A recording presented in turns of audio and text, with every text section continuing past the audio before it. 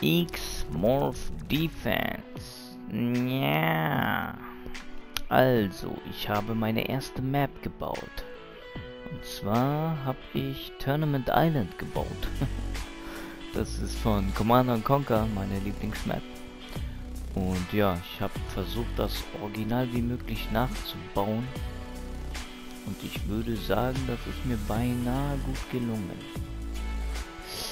Naja, abgesehen von den Booten, die gab es da nicht, aber die habe ich als kleines Extra mit reingehauen. Und ja, ist auf jeden Fall ein geiler Mix. Also ich finde diese beiden Spiele, die passen sehr gut zusammen. Panzer, Helikopter, Bomber, das passt. Haben beide. Außer Außerirdische. Ja, ist ja auch egal. Ähm, ich werde den Editor und die Map natürlich freigeben, so dass ihr die Leute zumindest, die das Spiel X-Morph Defense spielen, die können dann auch alles verändern und äh, ja, dann das schwieriger machen oder auch nicht.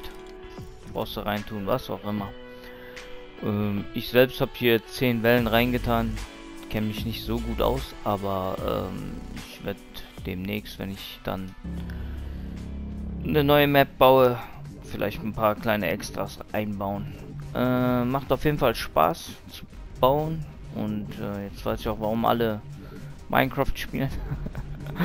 ja, und ähm, ja, dann wünsche ich auf jeden Fall viel Spaß damit. Ne? Ich hatte auf jeden Fall meinen. Wuhu!